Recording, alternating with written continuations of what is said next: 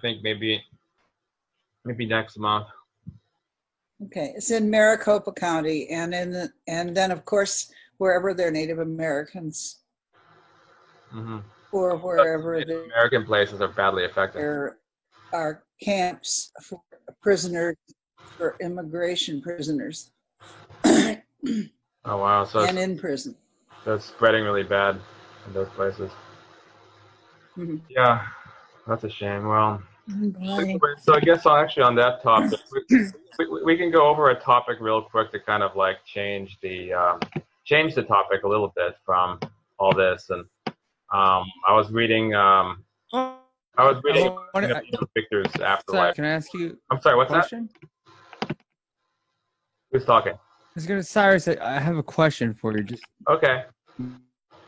Michael, I got Michael. Um, do you think this is something that was kind of brought to me in a various few forms that there's some sort of melting going on between, say, the earth realm and the spiritual realm? Like they're kind of merging? that's a good question. I almost Because there's weird shit that I've never experienced happening. yeah Ever. actually- that that that is a really cool, very interesting subject. I, I want to talk about. I might even wait till Barbara gets back because I don't want to. I don't I'm right here. I'm just, I have to tend to the cat from now. Oh, from sure. time to I was just saying. Michael was asking if he thinks that there's like a merging between like an astral or spiritual world and this world, and so I wanted to address that. You know, um, talk Because about. I consider this a realm. Like I never say it's a world or a planet. I Yeah. consider this a realm or a dimensional frequency. Yeah, yeah. I'll, how I I'll look at go it. in my thoughts, and you guys can tell me what you think. So I, I've been hearing from a lot of different sources about that concept happening, and there's different symptoms of that happening. One is like if you ask, if you do astral projection, and you'll notice. I don't know. If, I don't know, Barbara, if you ever noticed this because you have a lot of communications on that side. Uh, people's personalities. Your audio is going, Sorry, it's a little Yeah. bit. I, I, think- I think you. my Wi-Fi connection's going. I'm gonna turn off. No, my- no, you're fine now. Okay. So what I was It's saying just maybe you got um, far I'll from your mic. video as well. What I was saying was, um, you know, those those t- the different people who have mentioned symptoms of that happening. And I was, was going to ask Barbara because I know you have a lot of communication. Do you find that people's personalities on like on the quote other side are amplified? Um, somewhat, but they're certainly not diminished. Yeah, it's not diminished. Like in, in my experience, there, there there's like a high level of amplification. Mhm. like in a weird way if someone here is like intoxicated but it's different than that it's like because when you're intoxicated like a lot of your inhibitions go out and i've noticed um like in the astral projection type of environments people people's personalities tend to be much more a little a little bit more maybe closer to who who and what they really are but that can also manifest as being you know having a much higher amount of energy and like really Yes. you know really expressing all of their personality on like a on, on like compared to here is level two and they're like level 10 and so sometimes it's almost even a little bit overwhelming because like if i had an interaction with my mom it's like my it's it's, it's my mom but you know she's like sped up to such a you know personality it's like on fire it's all over the place as opposed to here where she might be a lot more she might have been a lot more like subdued or mellow or whatever because you know i think the pains and um hassles of the earth body you know we just we're not we're not on all four cylinders i suppose. But anyway so what i've been hearing about is like this idea that there's this shit there's this merging between this world and the other side which will result in increased telepathy between people increased um paranormal experiences but more, most importantly like people's personalities changing or you know stuff that's inside coming to the surface coming to the outside.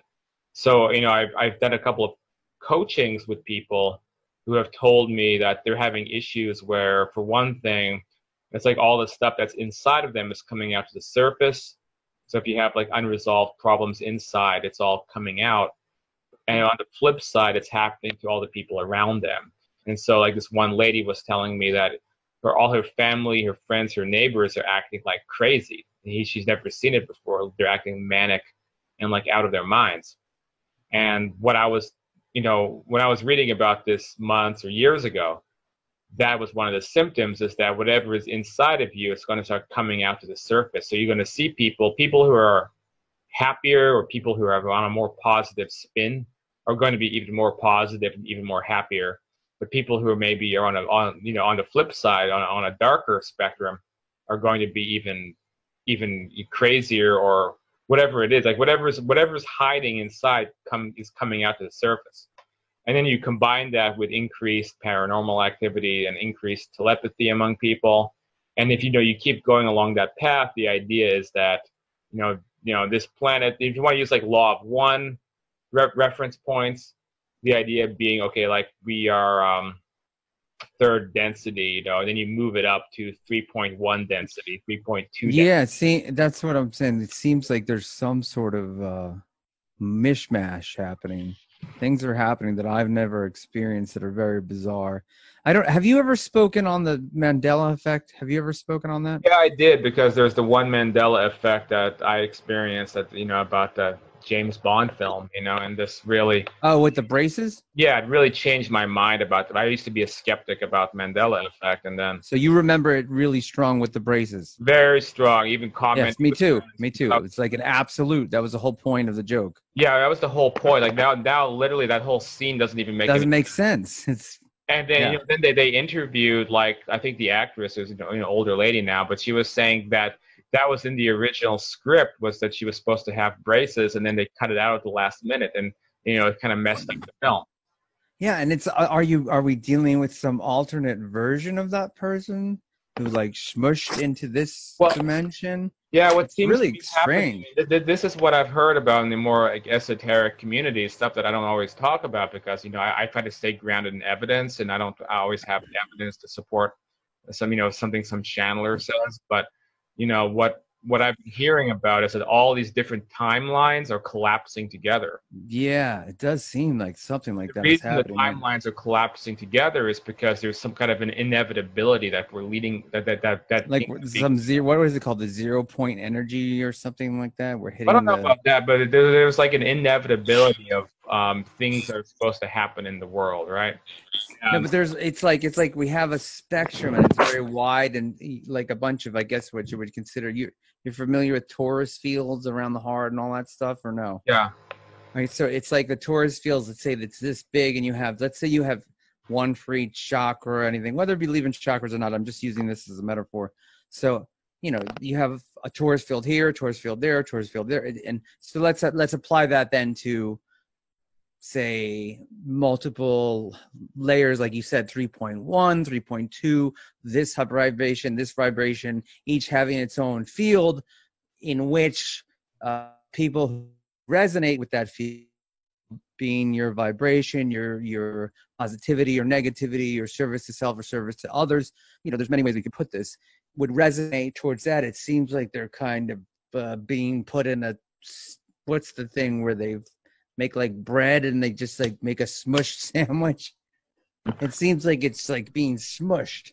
Yeah, it does. Uh, that's um, and it's it's like something is raising up on a small scale. So if you could if you could think of like let's say the astral world as like 3.5 or 4.0 for these the, the density scales, then the um, then this world could be moving from 3.0 to like 3.1 right? Yeah, something's happening. And if something's that happens, happening. it means hmm. also it means a, overall, you know, we'd be seeing at um, a, a much bigger increase of like.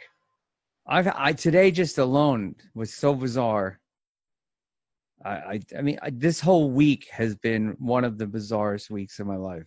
From I told you about that guy who the, he was my my my uh, above neighbor. He lived above me, and the a kind of an attic sort of an apartment and he he jumped off about six weeks ago and supposedly he was in ER in intensive care in a coma or something. I'm like, well, that can't be good. I can't see how you're jumping 90 feet. And I mean, I almost, oh I, it's going to sound bad, but I'm like, I'm like, hope he died because who wants to stay alive and be paraplegic, you know? Yeah. Like, so uh, I was I was friendly towards him. I was I wouldn't say I was friends with him. I only saw him a little bit. I've only been here less than a year, but around it's going to be around a year. But um, he would be clear a few times, but then he just I mean, you wouldn't even believe it. It's like seeing someone who is just so quiet and so mousy and so and he would always ask me this thing like, "Hey man, why do you wear that hat? Do you got a cigarette? Can Can I bum a cigarette?" But he would speak it clearly at least. I wouldn't see this this manic insanity that at, at night at night and like because I I'm I'm a night person. I'm just a person that doesn't sleep them. I have like you. I just I'm I'm up doing things and then I'll crash. But I did kind of reset for a little while. Anyway, going back at night, he would just run. I mean, he, I just hear drum drum drum drum drum drum drum. And and I guess one where he would hang out, where his TV and he had speakers, he would just blast. I could hear it.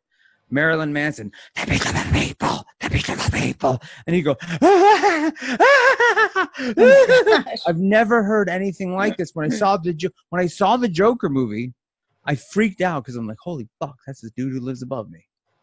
And Oh my gosh. I mean, he just go on, and on but but in my my my logical mind could almost couldn't connect it because then I'd see him and he'd be like, hey, what's up, man? You know, I didn't see any of that, and I'm like, I, Look, I'm, I'll- like, I'll break. I mean, it is the issue of mental illness as well, but the question is if I'm wondering if it's drug addiction or mental illness or a combination of Well, the both. question is if there's a if there's an ongoing pattern of people's personalities and things changing rapidly, because this is what some you know clients or people I do coaching for have been telling me, and o- others in the group have been telling me. So maybe I'll ask also Barbara and Dee. Have you guys been noticing anything different? I have. or anything? Yeah. I have.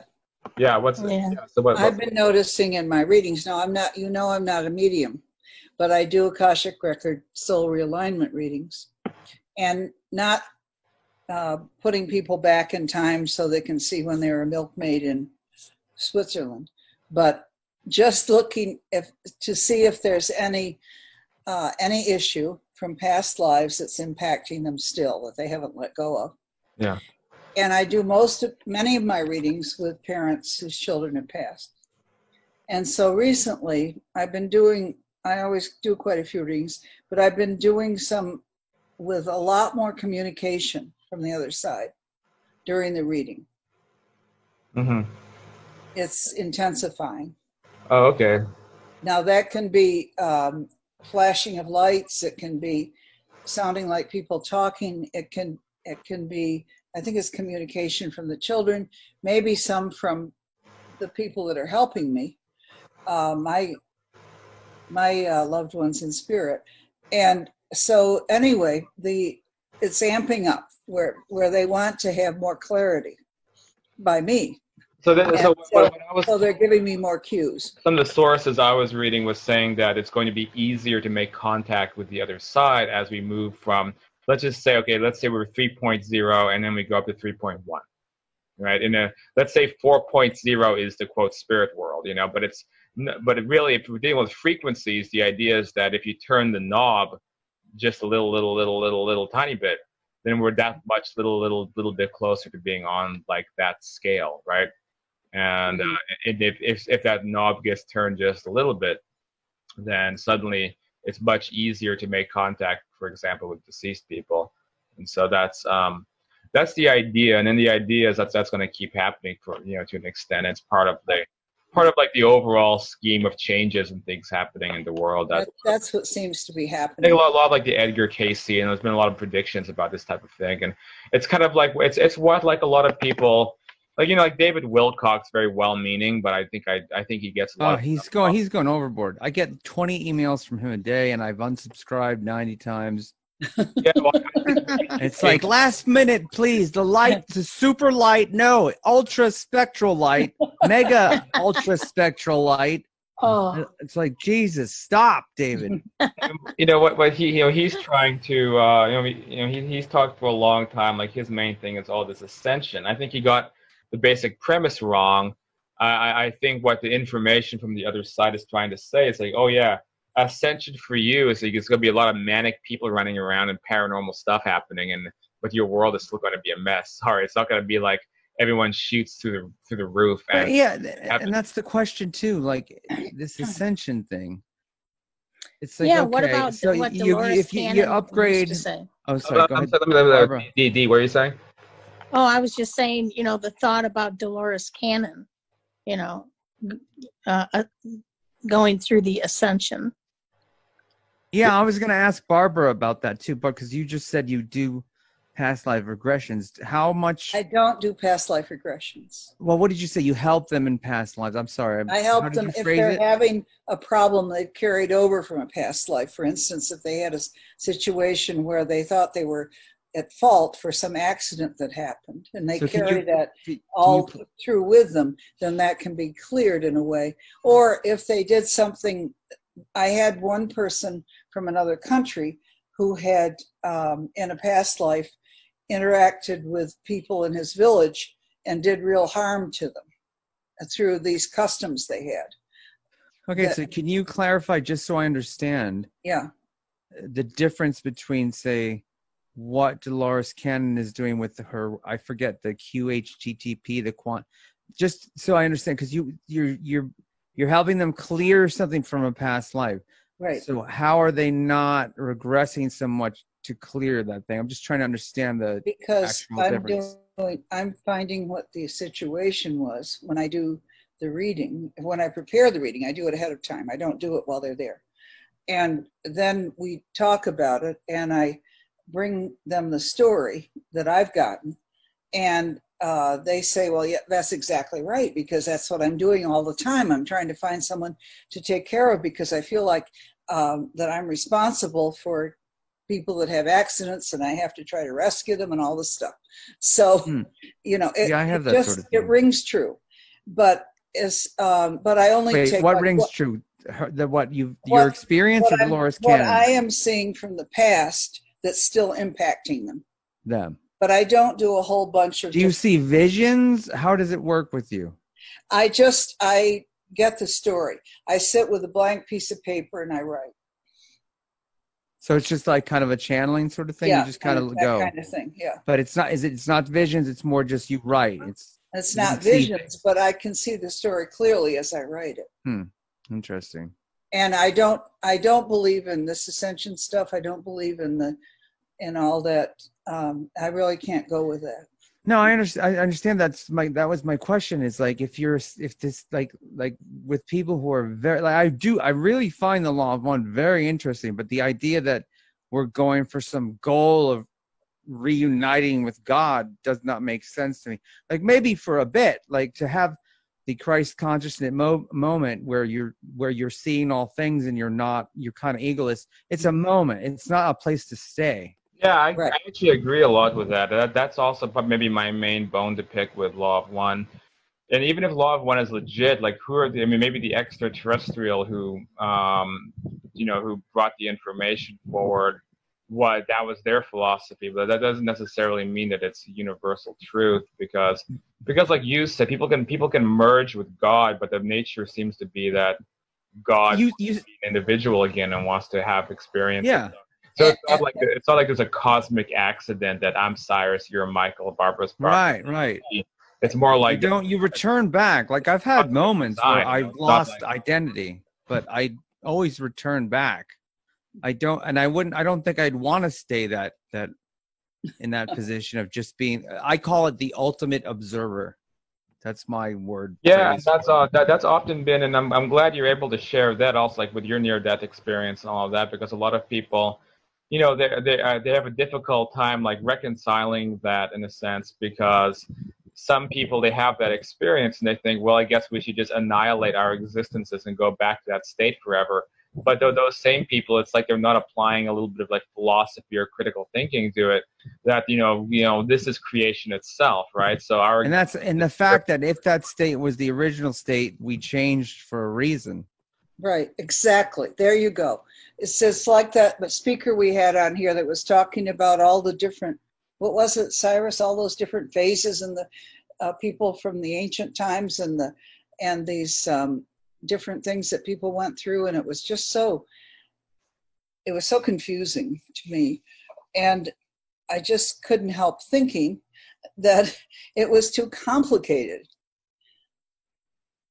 yeah, Do you you, You Yeah. know who I'm talking about? Uh, well, I'm trying trying to remember which speaker that was.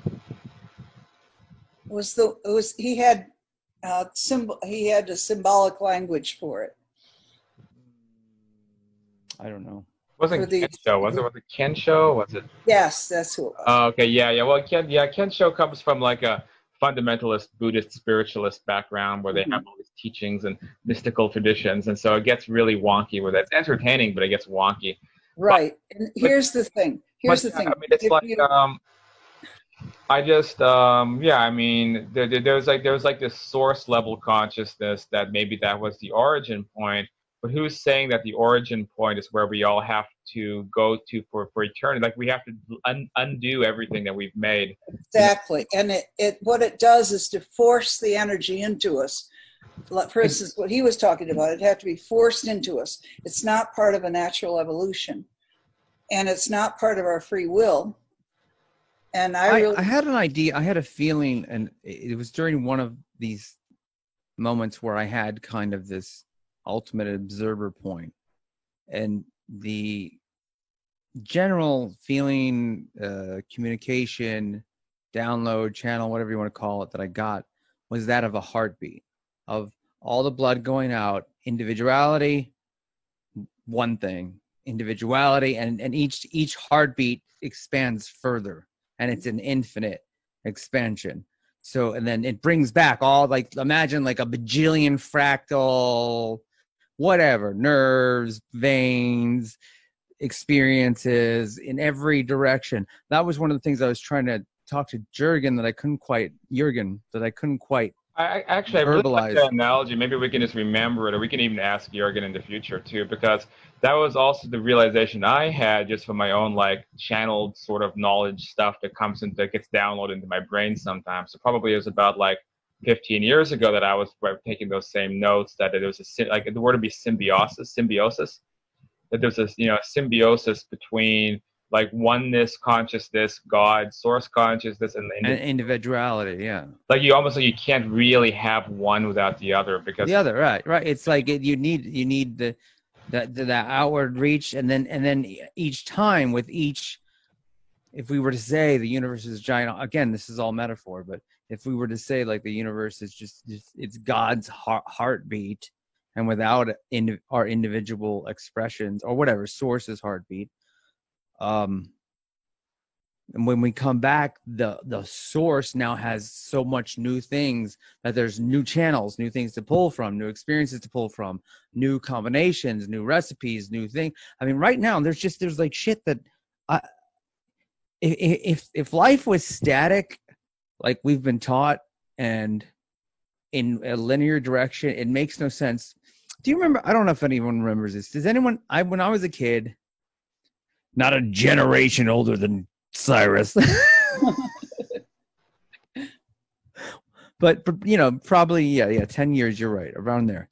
But um they had for instance like when, when in school there was animal cards of like every animal does anyone remember this there were cards they came in a box you could get a subscription and it was like it was almost kind of like I don't know. They just like had zebra and it told you all this. It was like a Wikipedia of animals. I would picture the card, the stats, where it was first discovered, this, that, and there were thousands of them, thousands of them. And now, Yeah, I remember that. I remember my kids having that. yeah, you had this. I remember my kids, yeah, going through Yeah, that. I don't yeah. remember what it was called. I wish for the, the life remember. of me I could remember and, and go search it out.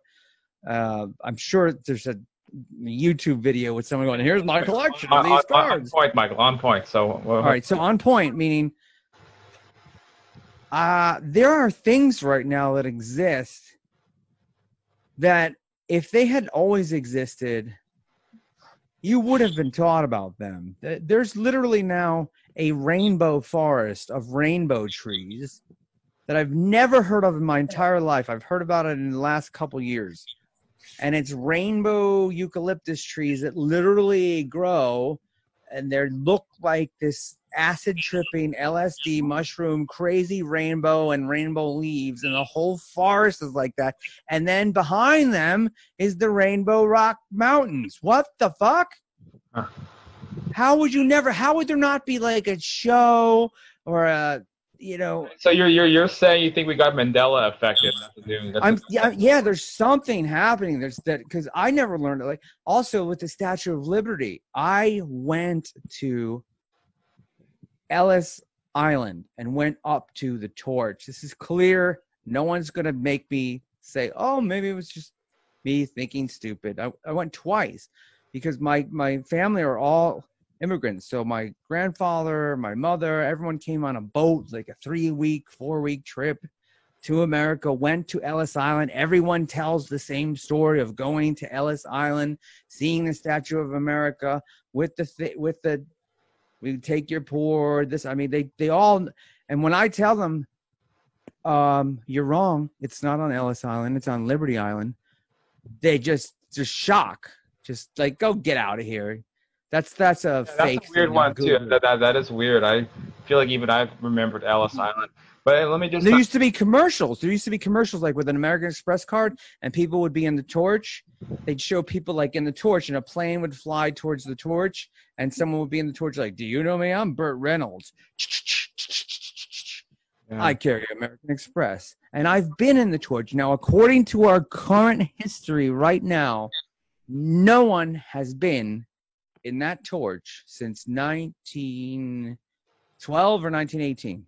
Weird. That- yeah, I don't know much about. I guess I'm not from New York, so I don't remember the torch or know much. But that definitely sounds like a Mandela effect. It's, it's just mind blowing. Bring it back. mind blowing. kind of wrap things up. I, I did I did really like you know this idea about kind of like the symbiosis of you know individuality, oneness, you know, working together because I think one of the major issues, and those of us, you know, you know, all all you guys who know my work, you know, that's always been having to deal with is the idea. I think that when when this spiritual philosophy goes a little bit haywire.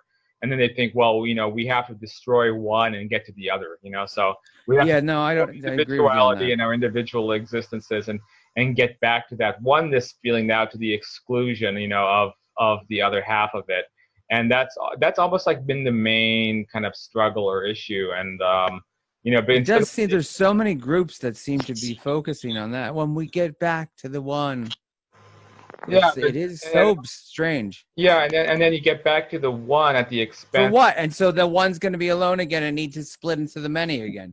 Yeah and then So but, it but makes no sense. is it like is it like this time they're gonna not do it like okay this time Right? Yeah. one No, we've got all the information we could possibly need. No more expansion. Just we're one, and I and I and by the way, all individuality is gone, so I can't even talk to multiple reflections of myself anymore. I'm just instead of a diamond, I'm just like a, a brick of of golden.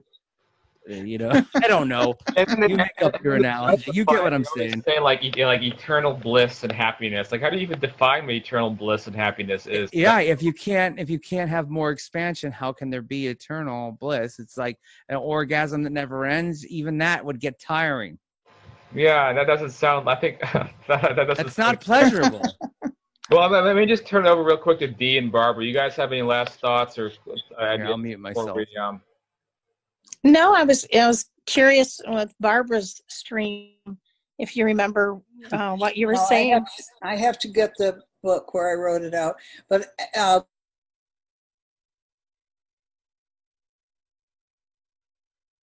encouraged by the movement that's going on, and I think it's a positive movement. And I don't believe in in uh, bliss, and I mean bliss is fine. Jurgen talks about it, and there's a dimension where people that want bliss can be, but I know that my partner is certainly not in that mode because in the on the other side that she constantly talks about debating with people and learning things and challenging opinions and people challenging her opinion and and uh, so there's Cool. there's a lot of motion and a lot of emotion I think Well, I would I would think Love that it. there is bliss and joy in that. In that, I mean, yes. good like But- this. I enjoy this Yeah. very highly. what this she says is I'm free right. I'm free to do all Ah. those things that I love in the words of the great Kenny cool. Loggins. I love him. and she doesn't have I have any to check out. I have to check out of this hostel in an hour. I'm gonna shower and get ready for the next leg of my journey. Oh my gosh, Cyrus. we can't wait to hear yeah, we Right, can't. go to I don't know what the, I don't know what the hell you're doing coming back to the United States. If I were you, I would have gone back to Indonesia, into a nice camp. Oh, I, I what, would, what happened with the girlfriend? Is that all? I had a I had a place booked in Malaysia, but Malaysia's locked down until September 1st, and then they probably won't Oh. even allow Americans to come in for another six months. And Oh, it's like oh, I- that with I every just- country out here. I have a terrible feeling that like like it's gonna go full militia here. I, I, I, are you terrible feeling what? Sorry, there was echo. I, said I have a terrible feeling it's gonna go full militia militia here. I have a terrible feeling things are gonna get worse before they get better. I also have a terrible feeling that No, I have a feeling it's good, but it, it is going to be like to Yeah. the extreme ends of what we've ever seen.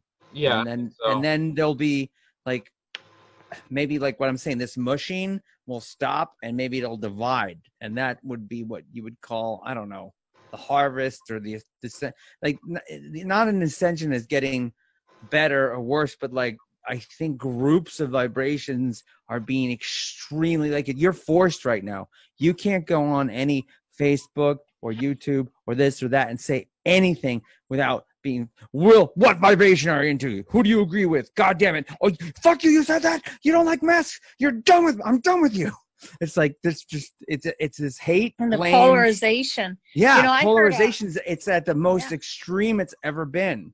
And so I think it's almost like a filter of some sorts, like we're being filtered and and like the souls are grouping into groups that would match and make sense with each other. I don't Yeah, something might happen, and if, if Randy Cramer was right, because he he just keeps predicting everything that's going to happen. Now there's a Was second. that the that's the guy with the UFO stuff you told yeah, me yeah, about? yeah. Because Randy Cramer said, "Hey, there's going to be a second virus coming. Watch out." And then on the news, is now the second virus coming out of China? There's a new viral. number. Yeah, they already started with it. Oh, it's great. so ridiculous. well, you know, you know, Kerry Cassidy is right. She had a seven-minute clip, and she was, um, she left LA, went to England, and then she did a seven-minute clip from the airport in Turkey. is that And the Project Camelot girl? yeah. And so there she was in Turkey, and then they were giving her problems, and she didn't understand why. Because she didn't read anything, nothing on the internet about having a problem there. She was shown the airport that it was kind of uh, desolate. So I don't know. I don't know what she was going to do. She was with her partner, and Yeah, that's trying what this get one. Turkey. Interesting. ahead. Hey, I gotta go. I got, I gotta pack. I'm gonna talk to you guys. right. I'll leave the meeting open, but uh, Be next safe. one- Swallow a GPS device. Uh, I don't know. um, okay, I'll, I'll I'll see you all soon. I'll be around. I'll be uh, like I said, Sunday. Hopefully, I'm back in USA unless If we don't hear from you for two months, we know you're in the mobile COVID FEMA unit. That's actually oh, correct. If you don't if you don't hear from me for a while, it means that they forced me to take a test at the airport. I came up positive and was put into a Philippine isolation ward. so that so that literally could happen. So if you don't, Well, I well, we That- all Well, you could our. also end up on a military base and quarantined in the U.S. or that, that we, can would, also we wouldn't hear from you either way. Yeah, that yeah, could and then you might have interesting reflections in there. If So we Let can us know. our you know, imagination. Just you know, post on the Facebook group or on my behalf. Okay, bye.